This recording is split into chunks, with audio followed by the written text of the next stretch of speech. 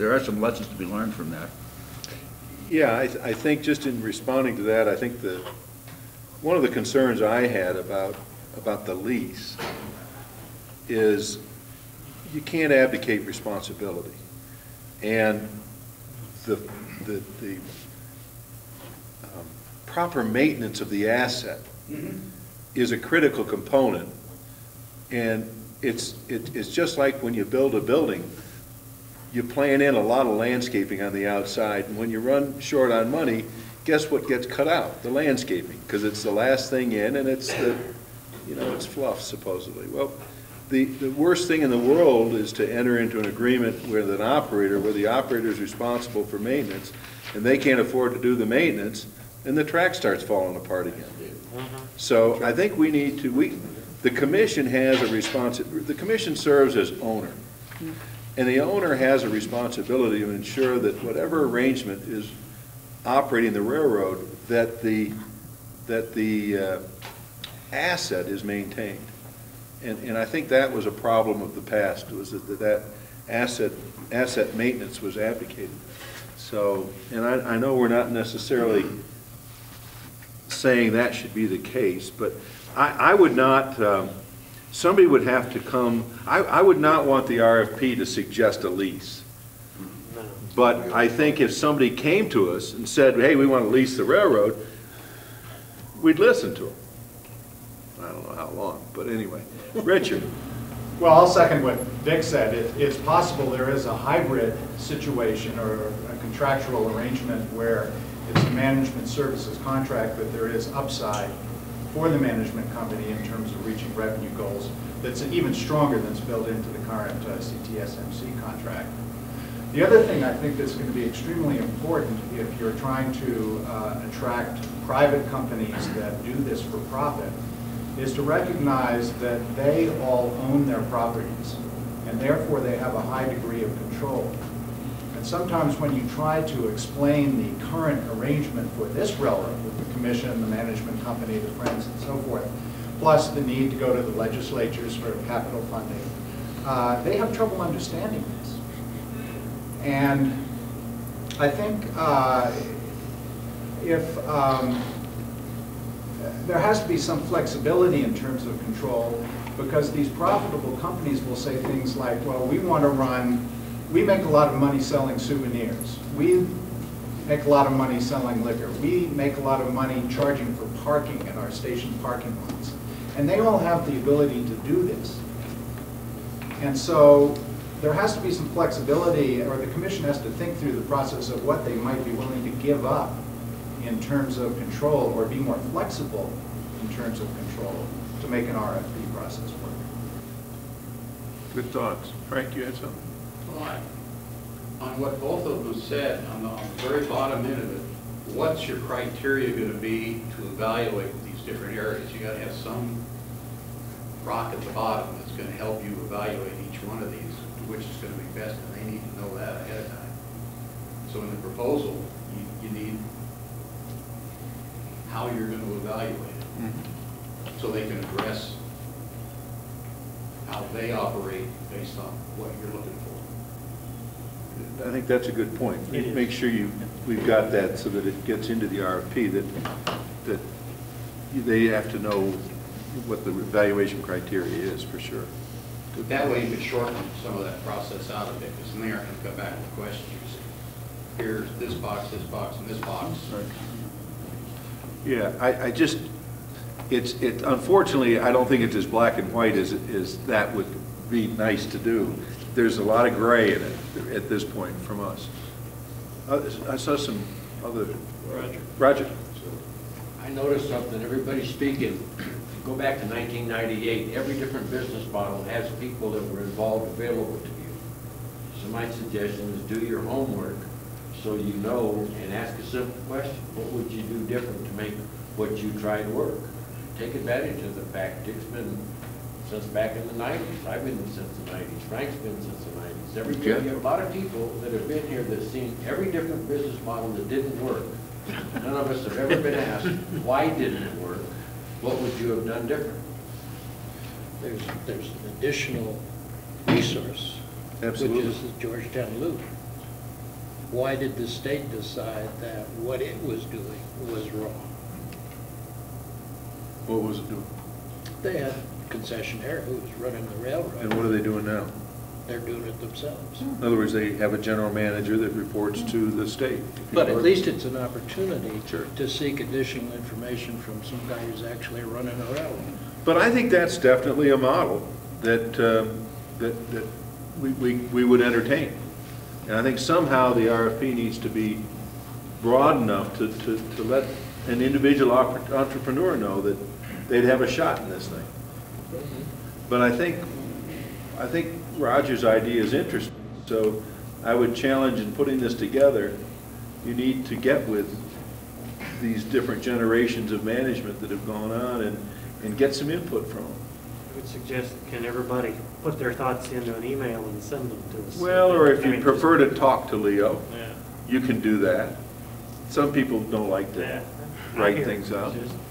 Just Randy? Looking at time. We have a real strong relationship with co-op, and we're partners with Georgetown. I can get you all the information you need on how they changed and why.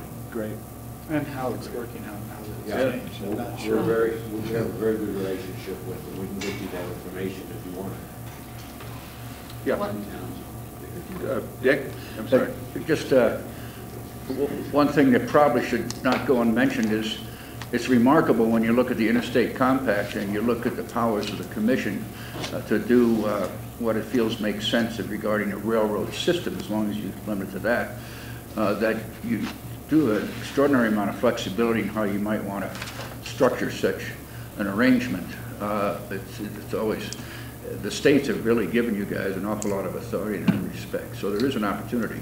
Oh, yeah, I don't think we're restricted in any way. Yeah. I agree with you. We're only restricted by the talent that's going to come and, uh, to our doors, I guess. Marty? Roger mentioned uh, the different business models. The one you alluded to that I think is the most viable is the commission directly hiring a manager, a chief mechanical officer, and run the railroad with that that management team. My background, 17 years, I ran a county-owned tourist railroad. And it had its, its issues, and I retired uh, four years ago, but I think that's a workable model. Maybe one, just, the commission can do that from train operation standpoint, but from capital projects, we cannot. With New Mexico funds, the commission cannot employ people directly to work on the capital projects. That's a battle Well, fought and lost. and Yeah, but I I, cannot. I think that's a technicality we can work through. No, I think it's how we You'd have to- structure it. You'd still have to find a contractor to do the track work. That's fine.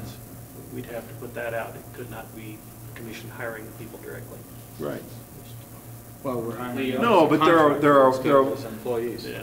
Uh, But in approaching this, I want us to go in with the idea of, there are, we, we can't go in with all sorts of restrictions in our mind of it won't work because of. Um, If, if we have to, laws have been changed.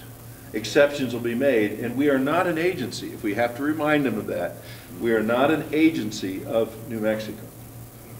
So what they want to do is make sure that the, that the people that work in the Department of Transportation aren't in the road building business too, and that they give themselves sweetheart deals. And, and I think we can uh, figure a way to make it work within the legal structure if we had to. But the, the the Yes. caution is good, we'd have to be careful with We fought that battle. And we may not get any more capital dollars anyway. Well, and the general manager can then process, deal with contractors. Absolutely. That's, Sure. that's something I did. Any of the track work, any major programs, we contracted out. Mm-hmm. In some ways, I acted as the general contractor and had a number of subcontractors. But the, you know, John Matthews is, is highly experienced. There are people, you, you can work with that. I think that a good general manager, a good chief mechanical officer, and nothing against Tim and, and Elmer, but just, that eliminates another layer. But it's more work for you.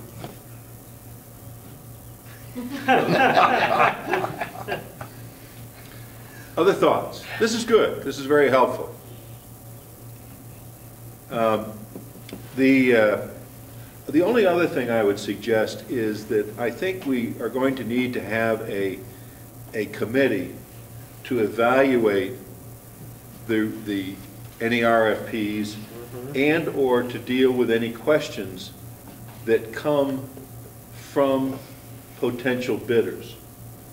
Because you, you, you want, if, if somebody asks a question and you give them that information, you want to make sure that that's information that is shared by, by many and not just one person. So um, I think we'll need to create a committee.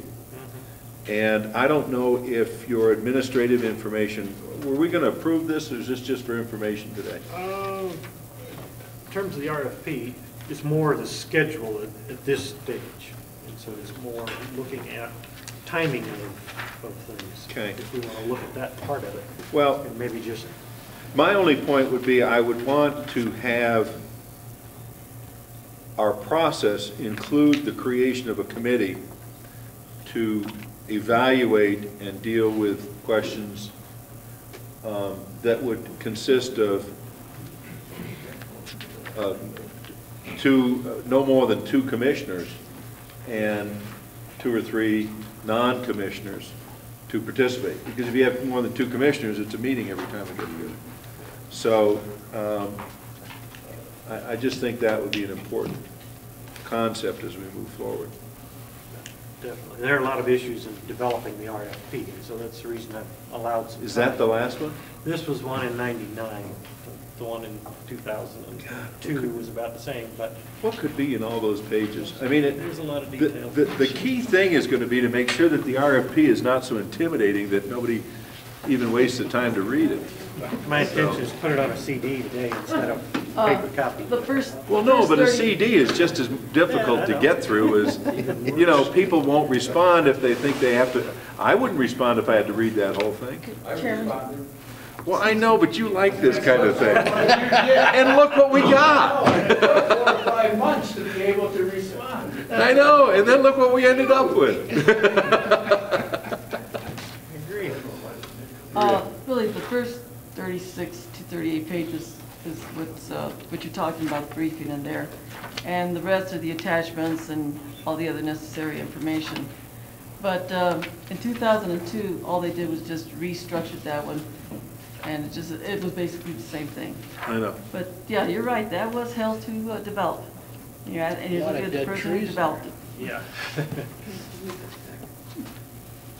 Uh, Further input? Anything?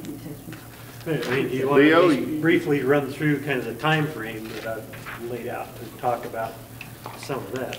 And I'm looking at time to develop the RFP between now and middle of August.